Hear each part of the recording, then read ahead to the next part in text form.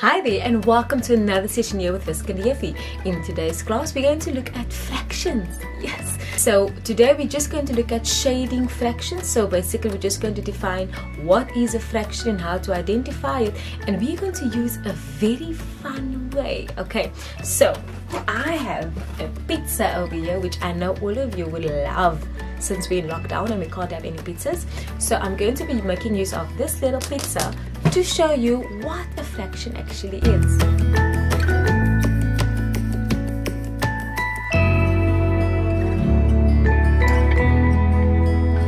Okay, so we know that this is a whole pizza and so a fraction would be a piece of a whole.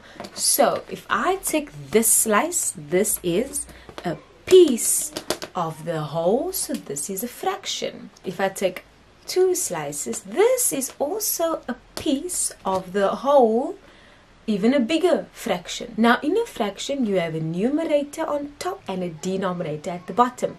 The number at the bottom tells you in how many equal pieces you've cut your whole into. Now, if I look at this pizza over here, I've cut it into one, two, three, four, five, six, seven, eight pieces. And every piece is equal. So they are cut into eight equal pieces, so then my denominator should be eight. Right, now let's say I want one piece. This will be one over eight. Let's say I take two pieces. This would be two pieces over eight. Now we know that in a pizza there's different ingredients and for this pizza that I made each ingredient is a fraction of the whole. So I'm going to show you what my recipe looks like and what fraction of each ingredient I used and if you'd like you can also make this pizza with me. Alright.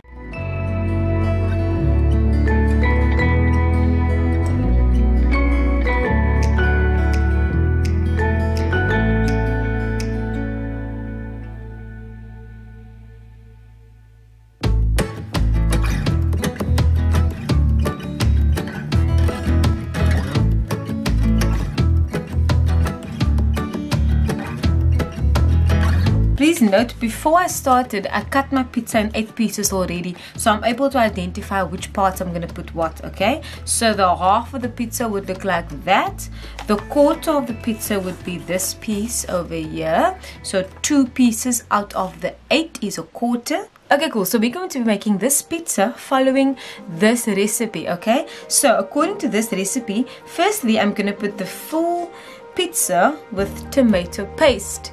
So I'm going to use my red paint as my tomato paste.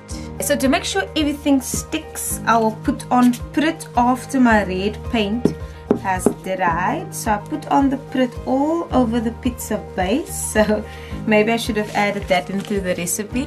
Then I will do my full green pepper.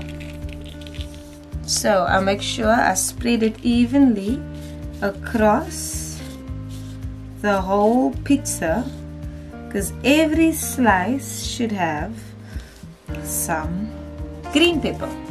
Alright, now I've split it into half veg and half chicken. So then this half I'm going to do half tomato. So this is my tomato. I'm going to put it on half of this side of the pizza.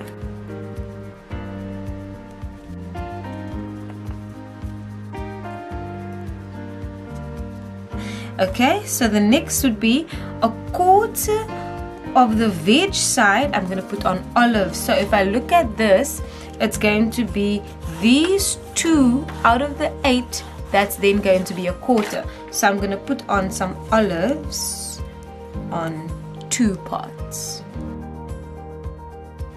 Then next half of the pizza has chicken on. So this would now be the chicken part okay so on this side we have my chicken, I'll then put some chicken pieces.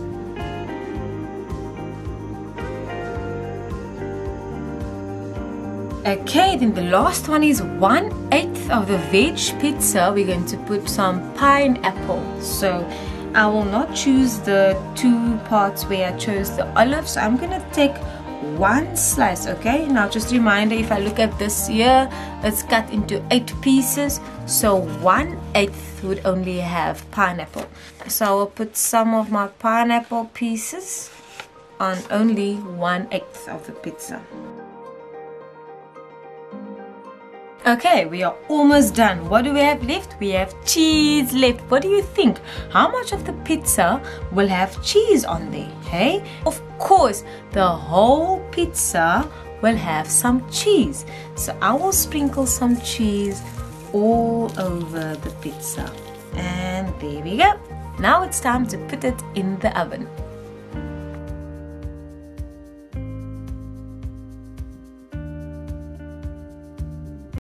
Okay, so that brings us to the end of our introduction to fractions lesson. I hope you enjoyed that one.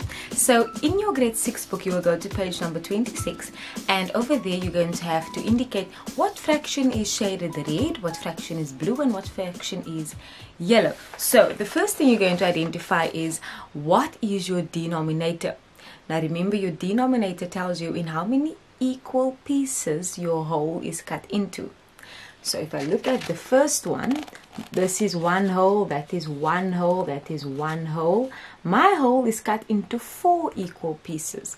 What fraction is red? I see 1. So what will my fraction be? 1 over 4. What fraction is blue? I see two blue parts. So my fraction will then be 2 over 4. Right? The next one, my whole is cut into 9 pieces. So then let's say for example what fraction is yellow? I will have 1, 2, 3, 4. So my fraction will be 4 over 9. Alright, so if you are grade 6 you will do page number 26 in your DBE book.